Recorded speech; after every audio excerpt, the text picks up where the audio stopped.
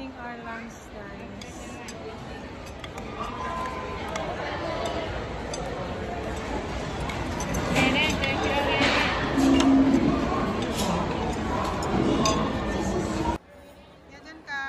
Kain na tayo. Okay. Ito na yung ano namin order.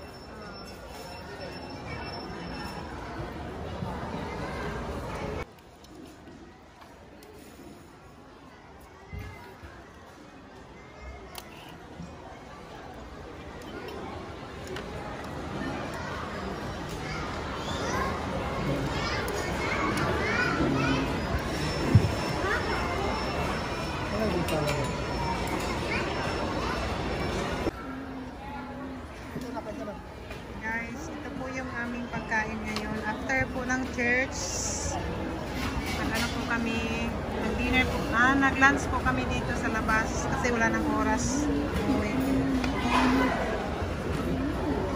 Ito po yung ah, Japanese champong ramen.